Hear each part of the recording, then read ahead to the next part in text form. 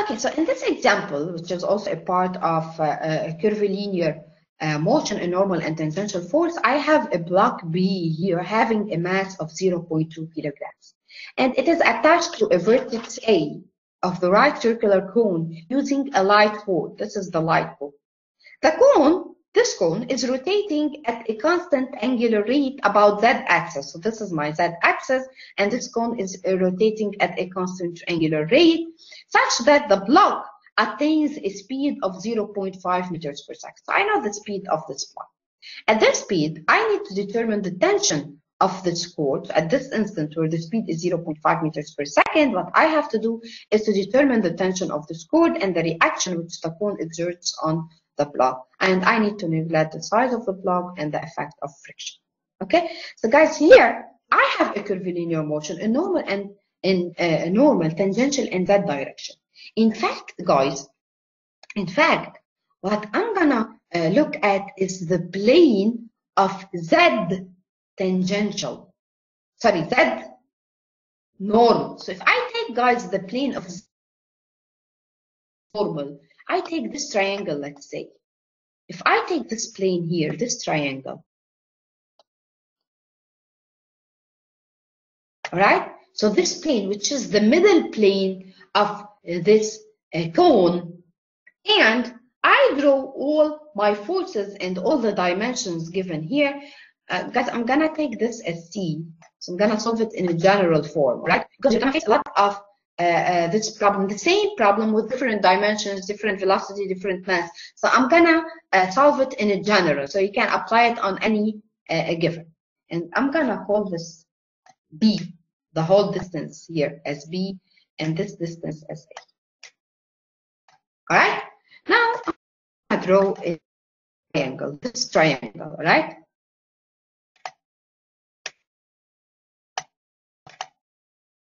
So it's rotated. So this is my triangle where this is B, this is A, then this distance right here, the whole distance right here will be equal to radical B squared plus A squared.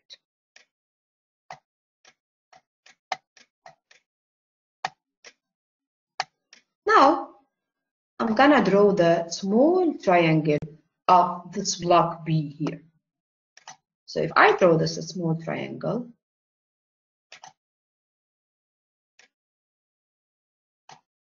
I'm gonna also flip it.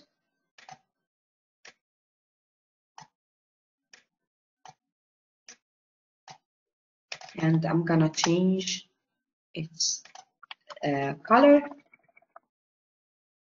this triangle right here has this length as C.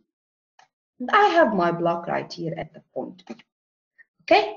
So from similarity, guys, I can say that C, this length here, over the whole length, which is radical B squared over a plus A squared. You're gonna see why, guys, I'm using this similarity ratio is equal to this distance right here over A. But what is this distance and why should I find it? What is this distance? Guys, I'm taking this plane here, which is in the middle plane of the cone. What is this distance from this point to the center? I know, guys, that this block is rotating like this around this Z, which means, guys, that this distance from this point to the center is the radius of curvature at this plane. So this is the radius of curvature done by this block while rotating around this Z. All right? Which means, guys, that this distance here is R. This is the radius of curvature, which is constant here. So R will be equal to A times C over radical B squared plus A squared. Why do I need this I? Because in fact I need AN. I know the velocity, so AN will now be known. It is V squared over r. So it is not. Okay?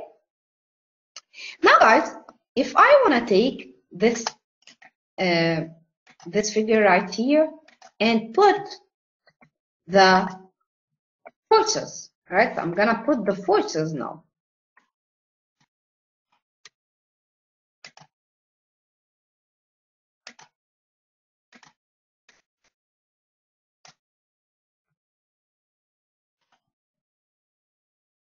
So we're gonna put now the forces applied on the block.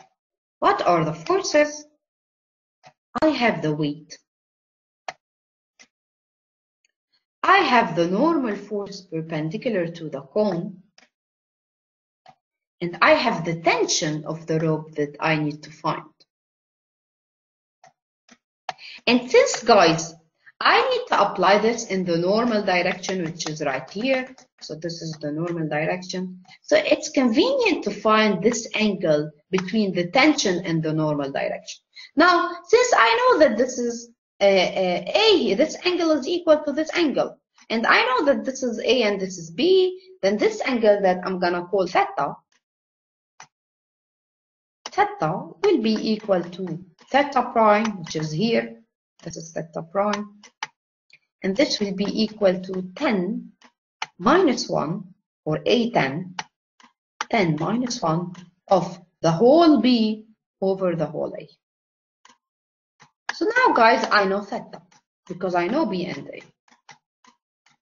So if I want to apply sum of Fn is equal to MAN this will give me what?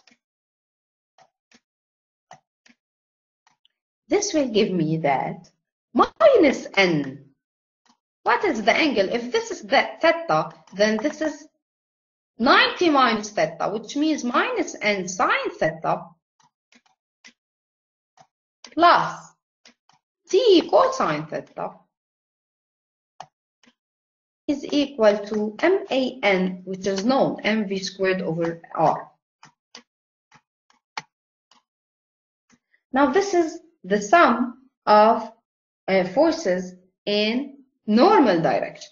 Now, what about the sum of forces in z direction? Because this is the plane of nz, all right? In z direction, sum of f z is equal to zero because there is no az. az is always equal to zero, right? If you remember from kinetics, which means, guys, that minus w plus t sine theta doing the projection, all right, plus n cosine theta is equal to zero. So now, guys, I have two equations, two unknowns that are n and t. So these are my equations. My unknowns are only n and t. I can find them and this will give me that t is equal to 1.82 and n will be equal to 0.84 Any questions, guys? So I know it's complicated, but I want you to imagine, guys, because in fact the tangential here, the tangential direction will be to my side. If I take this plane, this will be the normal to the center of the circle. And this is z, right? So this is nz. Now the tangential will be to my side. Okay? So that's it, guys.